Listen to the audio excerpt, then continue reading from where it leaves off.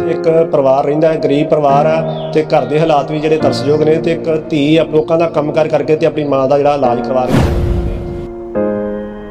ਮਤਲਬ ਕਿ ਕਾਫੀ ਜ਼ਿਆਦੀਆਂ ਮੁਸ਼ਕਲਾਂ ਤੇ ਆਂਦੀਆਂ ਪਈਆਂ ਵਾ ਕਿ ਕੰਮ ਧੰਦਾ ਇਦਾਂ ਕਰੀਦਾ ਵਾ ਗੁਰਦੁਆਰੇ ਮਤਲਬ ਕਿ ਸੇਵਾ ਕਰਕੇ ਰੋਟੀ ਖਾਈਦੀ ਆ। ਹਾਂਜੀ।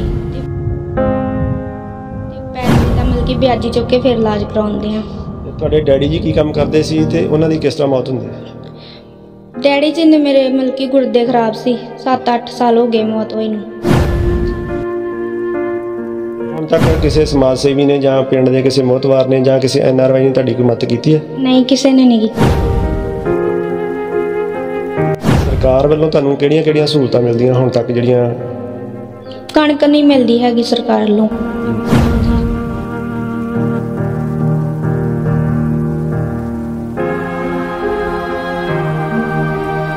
ਡੇਲੀ ਨਿਊਜ਼ ਪੰਜਾਬੀ ਚੈਨਲ ਦੇਖ ਰਹੇ ਦਰਸ਼ਕਾਂ ਨੂੰ ਪਿਆਰ ਭਰੀ ਸਤਿ ਸ੍ਰੀ ਅਕਾਲ ਤੇ ਅੱਜ ਅਸੀਂ ਪਹੁੰਚੇ ਹਾਂ ਹਲਕਾ ਖਡੂਰ ਸਾਹਿਬ ਦੇ ਅਧੀਨ ਆਉਂਦੇ ਪਿੰਡ ਮੁੰਡਾ ਪਿੰਡ ਵਿਖੇ, ਜਿੱਥੇ ਕਿ ਇੱਕ 45 50 ਸਾਲ ਦੀ ਇੱਕ ਬਜ਼ੁਰਗ ਭੈਣ ਰਹਿੰਦੀ ਆ, ਜਿਹੜੀ ਕਿ ਇੱਕ ਗਲੇ ਦੀ ਰਸੌਲੀ ਤੋਂ ਪੀੜਤ ਆ। ਤੇ ਹੈਰਾਨੀ ਦੀ ਗੱਲ ਇਹ ਆ ਵੀ ਇਸ ਇਸ ਦੀ ਸਾਂਭ ਸੰਭਾਲ ਜਿਹੜੀ ਉਹਦੀ ਜਿਹੜੀ ਇੱਕ ਲੜਕੀ ਕਰ ਰਹੀ ਆ ਤੇ ਘਰ ਦੇ ਹਾਲਾਤ ਵੀ ਇਸ ਤਰ੍ਹਾਂ ਦੇ ਨੇ ਵੀ ਕਮਰੇ ਦੋ ਆ ਤੇ ਇੱਕ ਕਮਰੇ ਦੀਆਂ ਜਿਹੜੇ ਬਾਲੇ ਟੁੱਟੇ ਹੋਏ ਆ ਤੇ ਬਹੁਤ ਬੁਰੇ ਹਾਲਾਤ ਵਿੱਚ ਪਰਿਵਾਰ ਜਿਹੜਾ ਰਹਿ ਰਿਹਾ ਗੱਲਬਾਤ ਕਰਦੇ ਆ ਵੀ ਕਿਸ ਤਰ੍ਹਾਂ ਇਹ ਜਿਹੜੀ ਸਾਰੀ ਘਰ ਦੀ ਹਕੀਕਤ ਚੱਲ ਰਹੀ ਆ। ਹਾਂਜੀ ਭੈਣ ਜੀ ਕੀ ਨਾਮ ਜੀ? ਪਵਨਦੀਪ ਕੌਰ। ਇਹ ਕਿੰਨੇ ਸਮੇਂ ਤੋਂ ਜਿਹੜੀ ਤੁਹਾਡੇ ਮੰਮਾ ਦੇ ਇਹ ਜਿਹੜੀ ਗਲੇ ਦੀ ਜਿਹੜੀ ਬਿਮਾਰੀ ਆ ਤੇ ਕਿਸ ਤਰ੍ਹਾਂ ਦਾ ਇਲਾਜ ਕਰਵਾ ਰਹੇ ਹੋ? 7-8 ਮਹੀਨੇ ਹੋ ਗਏ ਆ ਗਲੇ ਦੀ ਬਿਮਾਰੀ ਨੂੰ ਇਹ ਤੇ ਇਦਾਂ ਹੀ ਮਿਲ ਕੇ ਖਰਚਾ ਵਿਆਜੀ ਚੁੱਕ ਕੇ ਪੈਸੇ ਫੇਰ ਕਰਾਉਂਦੇ ਪਏ ਆ। ਜੀ।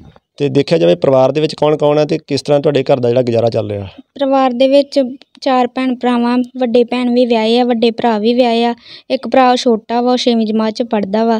ਤੇ ਮਤਲਬ ਕਿ ਜਿਹੜਾ ਵੱਡਾ ਭਰਾ ਵਾ ਤੇ ਉਹ ਤੇ ਬੋਲਦਾ ਹੀ ਨਹੀਂ ਉਹਨੇ ਕੋਰਟ ਮੈਰਿਜ ਕਰਾਈ ਤੇ ਉਹ ਨਹੀਂ ਕੁੰਦਾ ਬੋਲਦਾ ਹੈਗਾ। ਤੇ ਵੱਡੀ ਭੈਣ ਵੀ ਵਿਆਹੇ ਆ ਤੇ ਮੈਂ ਹੀ ਇਕੱਲੀ ਸੰਭਾਲਦੀ ਆ ਬਸ। ਕਿੱਥੋਂ ਕਿੱਥੋਂ ਇਹਨਾਂ ਦਾ ਜਿਹੜਾ ਇਲਾਜ ਕਰਵਾ ਚੁੱਕੇ ਹੋ ਤੇ ਹੁਣ ਕਿੱਥੇ ਲੈ ਕੇ ਜਾਂਦੇ ਹੋ ਉਹਨੂੰ?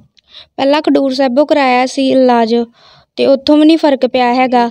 ਤੇ ਫਿਰ ਤਰਨ ਤਾਰਨ ਸਾਹਿਬ ਵੀ ਕਰਾਉਂਦੇ ਰਹੇ ਆ। ਉੱਥੋਂ ਵੀ ਇਲਾਜ ਦਾ ਕੋਈ ਵੀ ਮਤਲਬ ਕਿ ਰਮਾਨ ਨਹੀਂ ਆਇਆ ਹੈਗਾ। ਹੁਣ ਗੁਰੂ ਰਾਮਦਾਸ ਹਸਪੀਟਲ ਹੋ ਜਾਂਦੇ ਆ। ਰੋਜ਼ ਰੋਜ਼ਾਨਾ। ਕਿੰਨੇ ਦਿਨ ਵਾਸਤੇ ਤੁਹਾਨੂੰ ਰੋਜ਼ਾਨਾ ਬੁਲਾਇਆ ਡਾਕਟਰ 35 ਦਿਨ ਵਾਸਤੇ। ਕਿਸ ਤਰ੍ਹਾਂ ਜਾਂਦੇ ਹੋ? ਕਿਸ ਤਰ੍ਹਾਂ ਘਰ ਦਾ ਜਿਹੜਾ ਖਰਚਾ ਕਿਸ ਤਰ੍ਹਾਂ ਕਰਕੇ ਜਾਂਦੇ ਹੋ? ਕਿ ਕਿੰਨੀਆਂ ਕੁ ਜਿਹੜੀਆਂ ਮੁਸ਼ਕਲਾਂ ਸਾਹਮਣੇ ਕਰਨੀਆਂ ਪਈਆਂ? ਮਤਲਬ ਕਿ ਕਾਫੀ ਜ਼ਿਆਦੀਆਂ ਮੁਸ਼ਕਲਾਂ ਤੇ ਆਂਦੀਆਂ ਪਈਆਂ ਵਾ। ਕਿ ਕੰਮ ਧੰਦਾ ਇਦਾਂ ਕਰੀਦਾ ਵਾ ਗੁਰਦੁਆਰੇ ਮਤਲਬ ਕਿ ਸੇਵਾ ਕਰਕੇ ਰੋਟੀ ਖਾਈਦੀ ਆ। ਹਾਂਜੀ। ਤੇ ਪੈਸੇ ਤਾਂ ਮਤਲਬ ਕਿ ਵਿਆਜੀ ਚੁੱਕ ਕੇ ਫਿਰ ਇਲਾਜ ਕਰਾਉਂਦੇ ਆ। ਤੇ ਤੁਹਾਡੇ ਡੈਡੀ ਜੀ ਕੀ ਕੰਮ ਕਰਦੇ ਸੀ ਤੇ ਉਹਨਾਂ ਦੀ ਕਿਸ ਤਰ੍ਹਾਂ ਮੌਤ ਹੁੰਦੀ? ਡੈਡੀ ਜੀ ਨੇ ਮੇਰੇ ਮਤਲਬ ਕਿ ਗੁਰਦੇ ਖਰਾਬ ਸੀ 7-8 ਸਾਲ ਹੋ ਗਏ ਮੌਤ ਹੋਈ ਨੂੰ। ਜੀ। ਹਾਂਜੀ।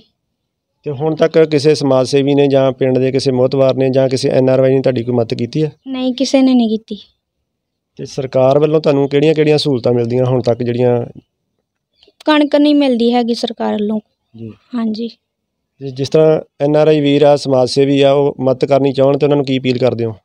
ਇਹੀ ਅਪੀਲ ਕਰਾਂਗੇ ਕਿ ਮਦਦ ਕਰਨਾ ਸਾਡੀ ਕਿ ਮੇਰੀ ਜਿਹੜਾ ਮੰਮਾ ਦਾ ਇਲਾਜ ਹੋ ਕੇ ਤੇ ਸਾਡੇ ਨਾਲ ਮਿਲ ਕੇ ਉਹ ਫੈਮਿਲੀ 'ਚ ਰਹਿਣ।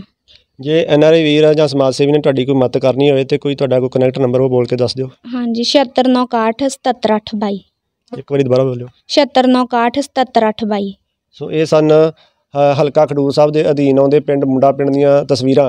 ਜਿੱਥੇ ਇੱਕ ਪਰਿਵਾਰ ਰਹਿੰਦਾ ਹੈ, ਗਰੀਬ ਪਰਿਵਾਰ ਆ ਤੇ ਘਰ ਦੇ ਹਾਲਾਤ ਵੀ ਜਿਹੜੇ ਤਰਸਯੋਗ ਨੇ ਤੇ ਇੱਕ ਧੀ ਆਪਣੀ ਮਾਤਾ ਦੀ ਜਿਹੜੀ ਸੇਵਾ ਕਰਕੇ ਤੇ ਲੋਕਾਂ ਦਾ ਕੰਮਕਾਰ ਕਰਕੇ ਤੇ ਆਪਣੀ ਮਾਂ ਦਾ ਜਿਹੜਾ ਇਲਾਜ ਕਰਵਾ ਰਹੀ ਆ ਤੇ ਸਮਾਜ ਸੇਵੀ ਤੇ ਆਈ ਵੀਰਾਂ ਕੋਲੋਂ ਅਪੀਲ ਕਰਦੀ ਆ ਕਿ ਮੇਰੀ ਵੱਧ ਤੋਂ ਵੱਧ ਜਿਹੜੀ ਮਦਦ ਕੀਤੀ ਜਾਵੇ ਤਾਂ ਕਿ ਮੈਂ ਆਪਣੀ ਮਾਤਾ ਦਾ ਜਿਹੜਾ ਇਲਾਜ ਕਰਵਾ ਕੇ ਤੇ ਇਹਨਾਂ ਨੂੰ ਸਹੀ ਕਰਵਾ ਸਕਾਂ।